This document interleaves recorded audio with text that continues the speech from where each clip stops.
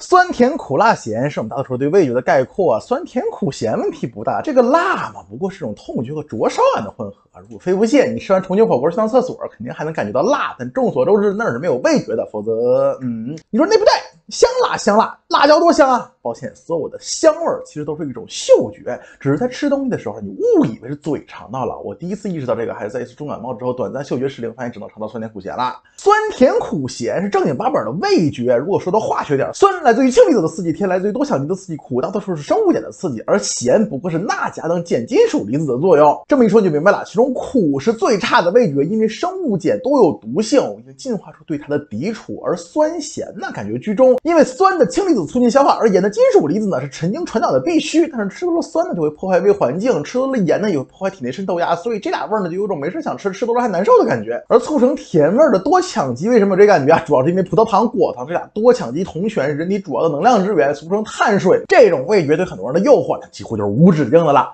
直到一百年前，学界认为酸甜苦咸这四大基本味觉就是我们感知到的全部了。直到一个日本化学家池田菊苗，他媳妇心血来潮给他经常吃的黄瓜汤加点海带，这哥们一吃，哎我呀，鲜，真鲜。说正常的你就和老婆说，以后你多放点哈。那这位大佬就陷入了沉思。化学家嘛，觉得这个鲜味啊，不像嗅觉呀，那也不是酸甜苦，也不完全像咸，这到底是个啥呀？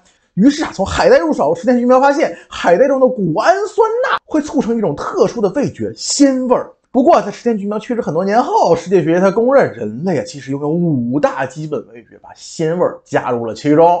而英语中这个词汇也是个日语音译词，乌妈米来自于日语乌妈米。而池田菊苗啊，一点都不亏，他迅速的把谷氨酸钠的生产技术申请专利，造出了改变世界餐桌的调味料味精。其实谷氨酸钠嘛，就是一种氨基酸谷氨酸的钠盐，而氨基酸嘛，就是蛋白质的基本单位啊。不久后，池田教授的弟子小鱼新太郎又惊奇地发现，日本常用吊高汤的煎鱼，就是这个像爆花的玩意儿，里面的肌苷酸也可以产生鲜味。肌苷酸是什么呀？就是一种特殊的核酸，核酸买的很出名了，就是 DNA、RNA 的组成单元。发现啥没？人类能感知鲜味，本质是对饱含蛋白质核酸的什么呀？肉肉的渴望。古人虽然一直不知道氨基酸、核酸是啥，但是却一直在努力的激发着，比如先秦人们的珍宝鲍，完全不是现在的鲍鱼，而是咸鱼干。鱼肉的蛋白质被盐一腌，嘿，天然的味精就出来了。还有呢，被称作海的肉酱，也是先秦贵族必不可少的高端货。等到如今啊，无论是大豆研发的酱油，还是腐乳都是臭豆腐，皖南的臭鳜鱼、腊肉、火腿、宁波的臭菜心、东北的酸菜，还是西方的乳酪、香肠，其实都是把肉奶豆的蛋白核酸通过腌制、发酵、水解的结果，形成了鲜味的氨基酸盐核苷酸。在料理中，无论中国对鱼、鸡骨等的炖炖煮，还是西方对牛排的熟成同样都是这一过程。